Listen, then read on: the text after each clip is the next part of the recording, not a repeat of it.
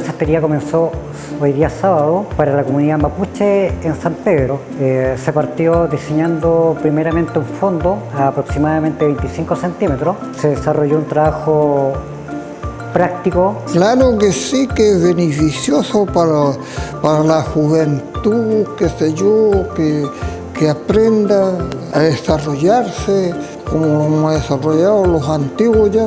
Yo pisando los 80 ya. Lo encuentro muy bueno, la ayuda que le van a dar a las personas para que aprendan a la gente mapuche. Eh, esto se ha perdido eh, para que la gente lo retome.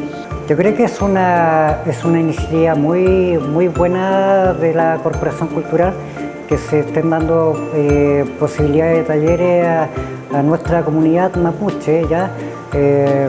Yo también muy contento con, eh, con empezar, empezarle a enseñar eh, eh, la cestería. Como le digo, muy conforme con, con el propósito que tiene la, la, Corporación Cultural de San Pedro hacia nuestra comunidad mapuche. Muy, muy contento.